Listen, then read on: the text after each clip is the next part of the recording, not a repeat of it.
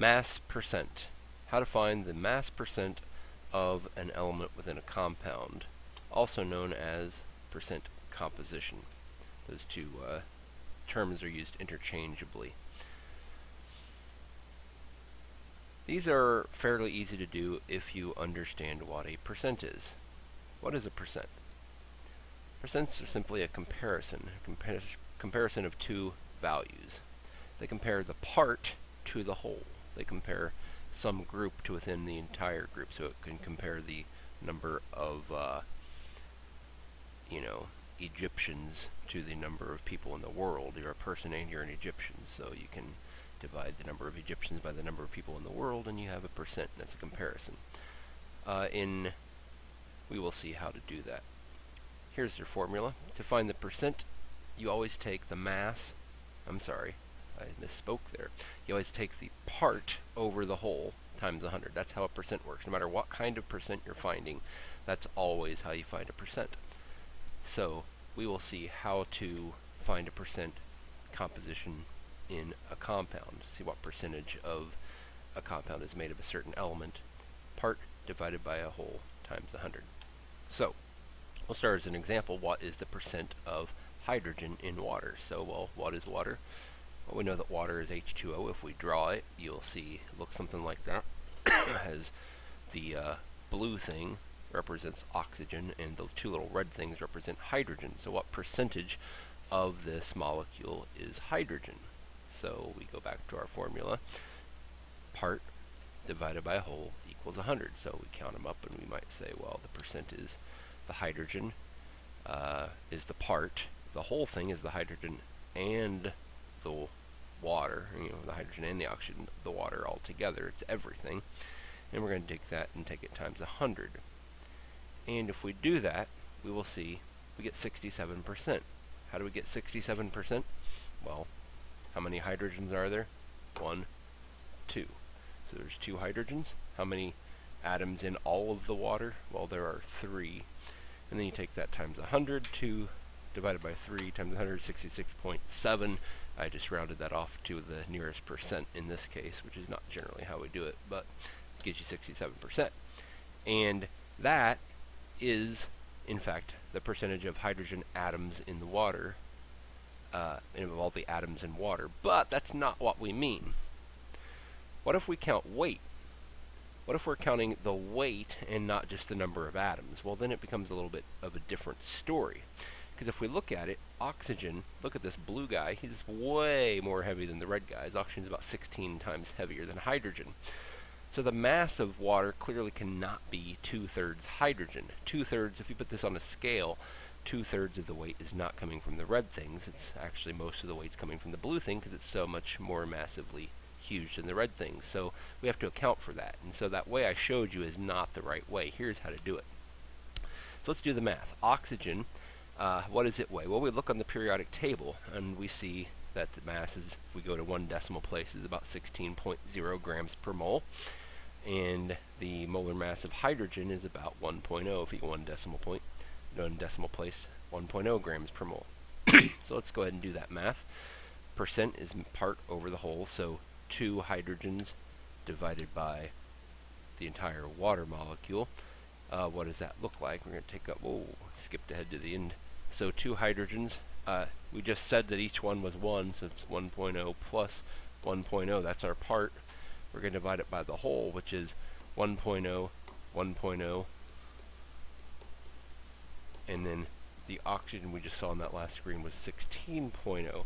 And so uh, that turns out to be 2.0 divided by 18.0, which is a ninth, it's 11.1%. Generally, I'm going to ask you, even though I didn't in that last example, I'm going to ask you to go one decimal place on all of these. So 11.1% uh, hydrogen for water, which makes a lot more sense because hydrogen's so tiny compared to the oxygen, it should be a small percentage of the water. So what about the oxygen? Well, that turns out to be pretty easy as well. We just kind of flip it. Now our part is not hydrogen, it's still part over the whole times 100, but this time the part is not the hydrogen, it's the oxygen. And there's only one oxygen and it weighed 16.0 the whole didn't change. It was 18.0 a minute ago, and so it's still 18.0.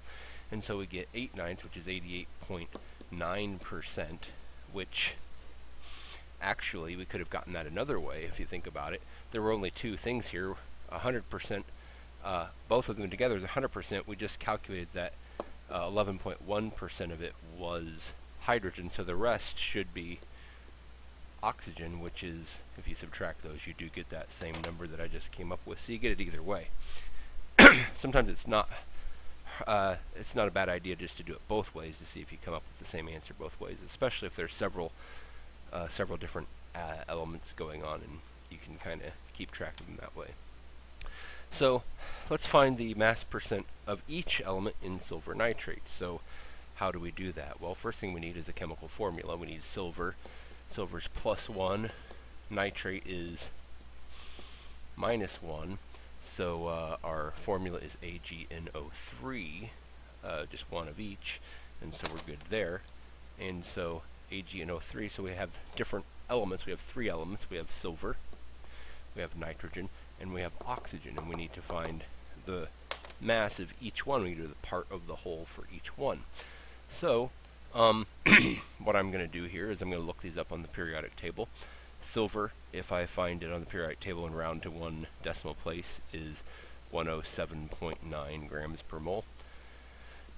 Nitrogen is 14.0 grams per mole, and oxygen is 16.0 grams per mole. Now, I have not taken into account the fact that there are three oxygens yet. I don't really care about that yet. So let's figure out what these parts weigh.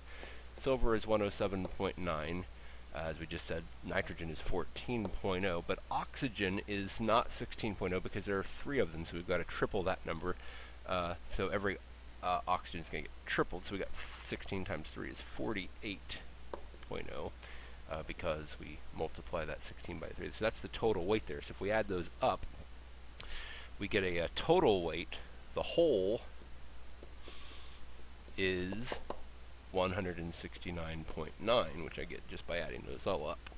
And the part is, well, it depends on which thing you want to find first. If we find the silver first, it's going to be 107.9. Don't forget to take it times 100, and that's what we're going to get there. So 107.9 divided by 169.9 is 63.5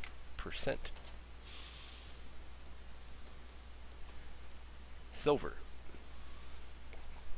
And the rest, once you've done one of them, the rest are always pretty easy because you'll find that the part, uh, the whole obviously doesn't change. The whole weight of silver nitrate is always going to be 169.9. So all I have to do now uh, to find, for example, nitrogen is just erase the part and write nitrogen's part, 14 instead. So 14.0 divided by 169.9 and I get 8.2% nitrogen. And now I'm going to do one more, but actually what I'm going to do first is I'm going to subtract 100 minus 63.5 minus 8.2 and that gives me 28.3 so I, I can tell by subtracting that my oxygen percentage is going to be 28.3 so let's do that and see if that's what we in fact come up with 28.3 so 28.3 is now our part because we're doing the oxygen 28.3 divided by 169. Whoa, whoa, whoa, whoa, whoa, whoa, whoa, what am I doing here? Mm, sorry about that. That's not the answer. The, the part isn't 28.3, the part is 48, just like we did with the others. So 48 divided by 169.9 gives us 28.3, just like I said it would. So there we go. Those are the percentages of the different elements within silver nitrate. 28.3% oxygen, 8.2% nitrogen, and 63.5% silver. But what if you don't have a formula? How would you do it if you don't have a formula? Well, it turns out that that is even easier. It, because if you don't have a formula, then it's going to have to give you the masses. They have to tell you what masses to use if it doesn't give you a formula. So it's become really easy. So here'd be an example.